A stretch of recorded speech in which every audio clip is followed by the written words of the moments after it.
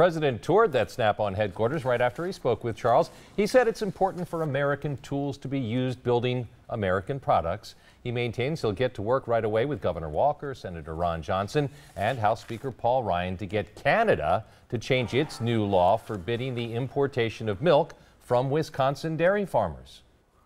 What's happened to you is very, very unfair. It's another typical one sided deal against the United States and it's not going to be happening for long. So, Scott, you and Ron and myself and Paul and everybody else, we're going to get together and we're going to call Canada and we're going to say, What happened?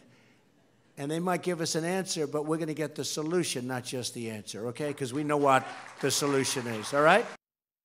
Well, Julia Fello is with people who protested against the president's visit. She's live with us in just a moment. But first, we want to go to Tom Durian, who has more on what the president had to say. You were inside during that message. Yeah, Shannon, Georgia, the president's message of buy American, hire American was well received here at this company, of course, that puts a priority on American manufacturing. It's America first. You better believe it.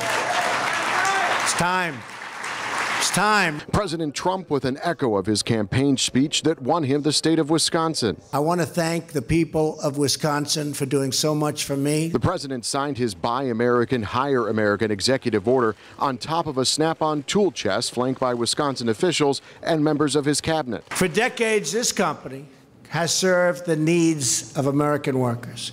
It's time we had a federal government that does the same. Part of the executive order focuses on the H 1B employment visas. The visas are supposed to be awarded to the most skilled or highest paid applicants, but the president says that's not happening. Right now, widespread abuse in our immigration system is allowing American workers of all backgrounds to be replaced by workers brought in from other countries to fill the same job for sometimes less pay. Mr. Trump also spoke directly to his Wisconsin audience on the issue of dairy farmers who could go out of business because of a Canadian trade change. Because in Canada, some very unfair things have happened to our dairy farmers and others, and we're going to start working on that. What's happened to you is very, very unfair.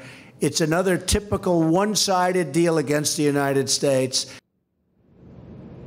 Well, on the issue of health care, which looked to be dead in the water just a few weeks ago, the president says he hopes to tackle that and then move on to tax reform, one helping with the other. We're live tonight in Kenosha. Tom Durian, today's TMJ4. Thank you, Tom.